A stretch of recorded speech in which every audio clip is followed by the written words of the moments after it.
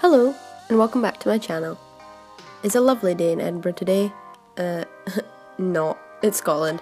So I'm inside making this lovely special effects makeup tutorial for you all because I have nothing else to do.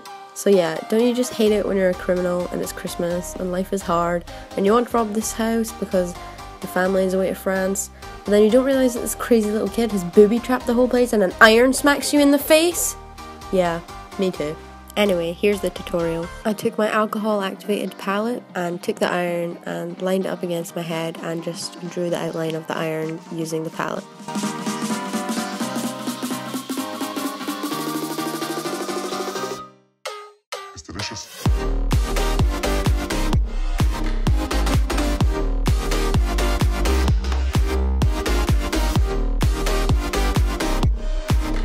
If it didn't look quite right, I'd just go around it again, draw it myself.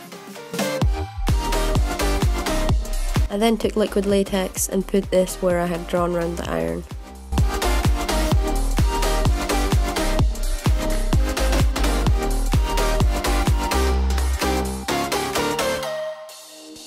To make it look like the iron has burned your skin, I used wax and isopropyl myristate on my fingers to stop the wax sticking to it.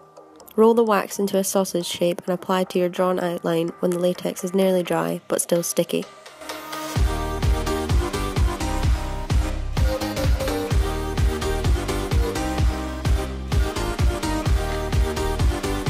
It's now a process of blending the edges of the wax.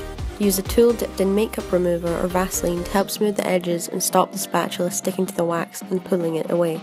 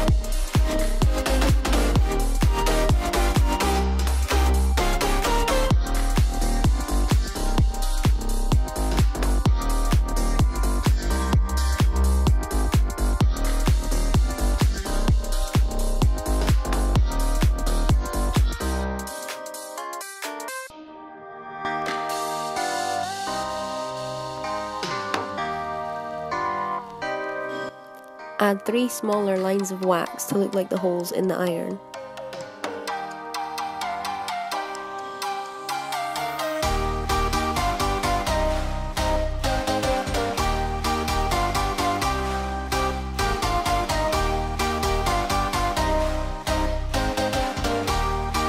Blend these three bits of wax in too.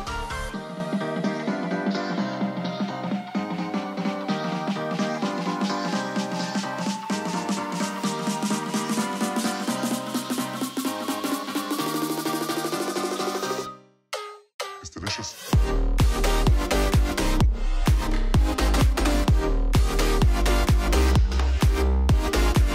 Now we take our paints again.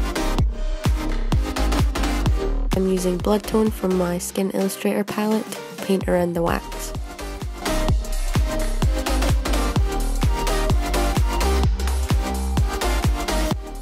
Powder the wax if necessary to help it look more matte.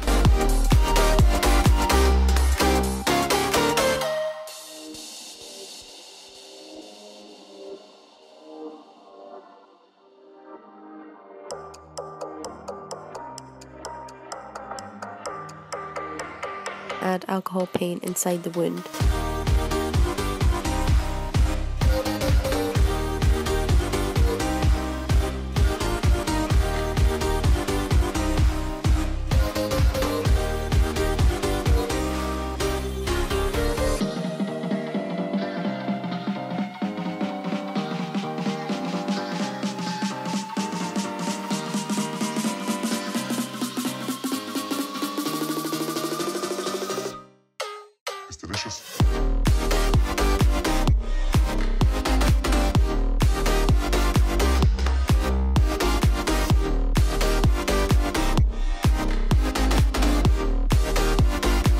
I then use Aged Blood from my Skin Illustrator palette to give a darker colour and dimension to one side of the wound.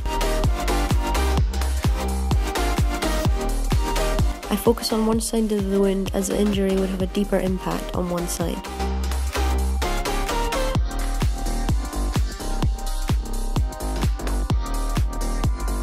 The more diluted the alcohol paints are, the better for this, so feel free to take a sponge dipped in alcohol to dilute them further after application.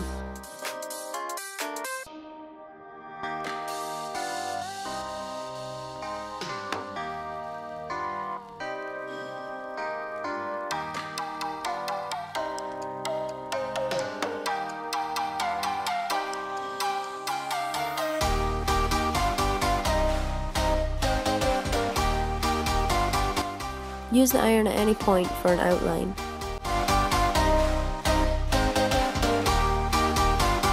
I add further detail into my cheeks and nose to make the injury look more recognisable.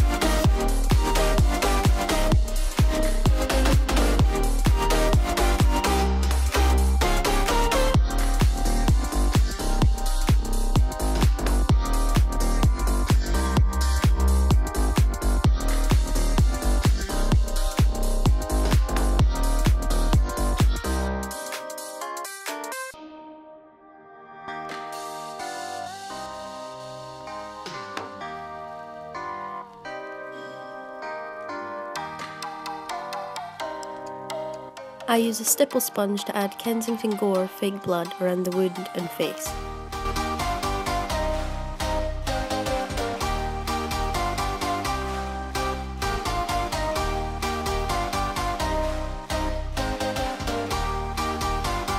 And that's the finished look.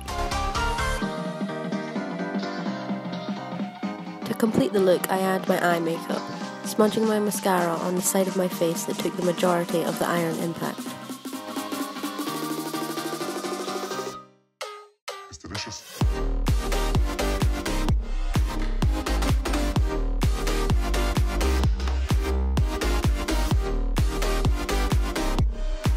Please subscribe for more tutorials, special effects, makeup and body painting and check out my other social medias, my Facebook page for my makeup.